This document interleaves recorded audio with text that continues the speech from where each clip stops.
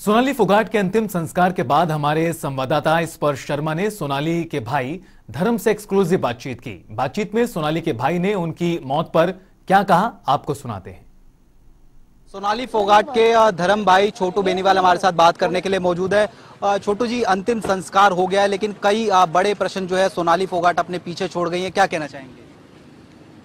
प्रश्न तो सोनाली तो एक्सपायर होगी संस्कार हो गया तो उसकी आत्मा जिसको अपने समाज में कहते हैं आत्मा स्वर्ग में गई नरक में गई तो आत्मा मेरे हिसाब से तो यही चाहेगी उसके साथ न्याय हो।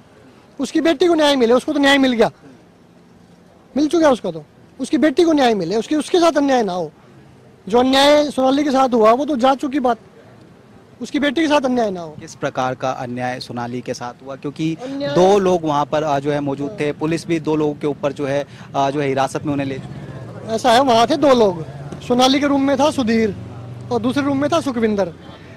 और सोनाली की मौत हुई है दबा के मारने से, पीटने से, गला घोटने से या फिर नाक बंद करने, जो भी हुआ है, वो काम है पुलिस का।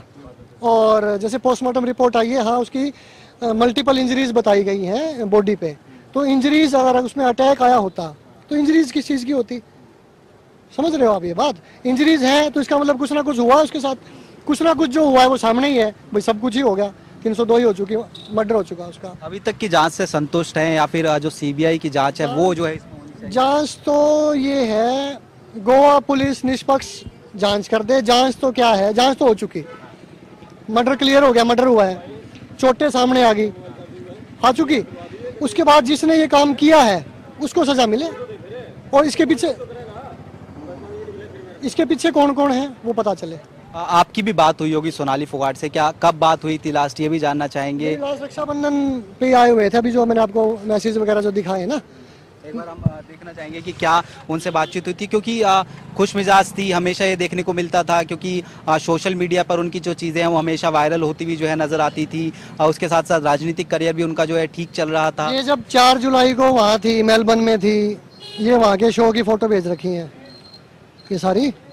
ये जाट पार्लियामेंट वाला कुछ किया था उन्होंने उसकी फ़ोटो चार जुलाई की फ़ोटोज़ है काफ़ी। ये ये कहाँ की है देख लो। ठीक है। उसके बाद ये शो की भेज रखी है। ठीक है एयरपोर्ट वगैरह की सभी इकट्ठे हैं ये।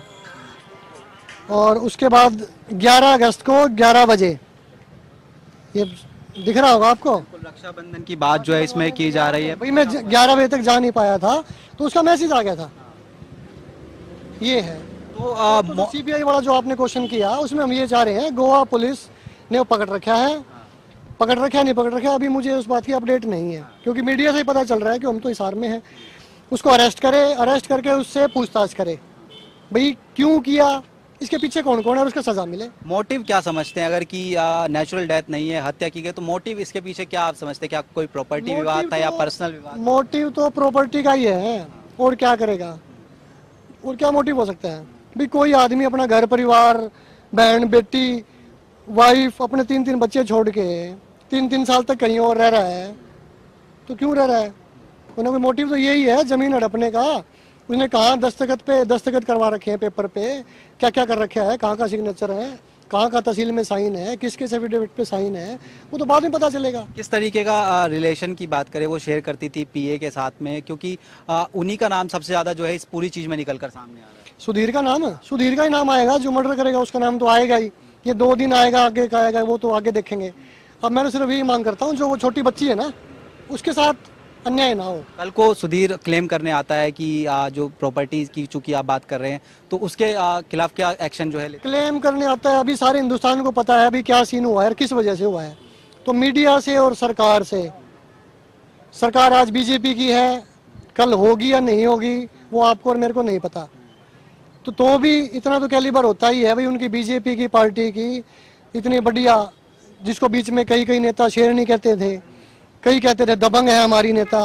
तो वो उस दबंग और उस शेरनी की बेटी की मदद करें। जब ये बेड़िए उसको मतलब नोचने आए उसकी ज़मीन छीनने आए प्रॉपर्टी छीनने आए तो मैं यही रिक्वेस्ट करता हूँ भाई वो उस बच्ची की मदद करें और कुछ नहीं है। एक अंतिम प्रश्न ये पूछूँगा हिसार में प्रॉपर्टी है और गुड़गांव की बात करें नोएडा की बात करें ये किस तरीके से क्या तमाम चीज़ों पर जो है कब्जा करने की कोशिश? अभी तो कोई कब्जे की कोशिश नहीं करी ना। अभी तो पहली बॉल गई है। उसके बाद शुरू होगा ये एपिसोड तो।